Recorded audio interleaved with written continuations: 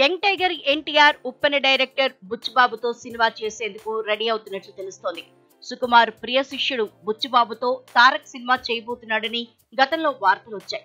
తాజాగా ఎన్టీఆర్కు బుచ్చిబాబు కథ చెప్పారని తారక్ కూడా నచ్చడంతో గ్రీన్ సిగ్నల్ ఇచ్చారని వార్తలు వినిపిస్తున్నాయి.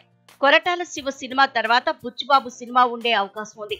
ఆ తర్వాత అట్లీతో సినిమా చేస్తున్నారు తారక్. అటు అల్లు అర్జున్ కూడా అట్లీ డైరెక్షన్లో ఓ సినిమా చేస్తున్నారు.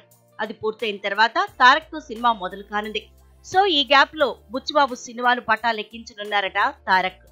యంగ్ టైగర్ ఎన్టీఆర్ ప్రస్తుతం ట్రిపుల్ ఆర్ సినిమా పూర్తి చేసి తన నెక్స్ట్ సినిమాపై దృష్టి పెట్టారు.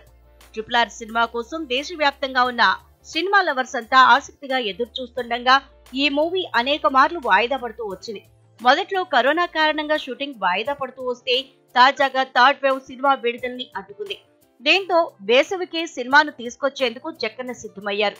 ఇక ఈ సినిమా తర్వాత కొరటాల శివ దర్శకత్వంలో సినిమా చేస్తున్నారు తారక్ అయితే కరోనా కారణంగా కొరటాల డైరెక్షన్లో వస్తున్న ఆచార్య సినిమా కూడా వాయిదా పడుతూ వచ్చింది.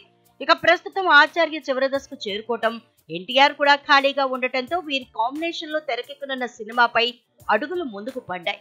దీంతో ట్రిపుల్ ఆర్ విడుదలకు ముందు తన కొత్త సినిమాను ప్రారంభించే పనిలో పడ్డారట ఎన్టీఆర్.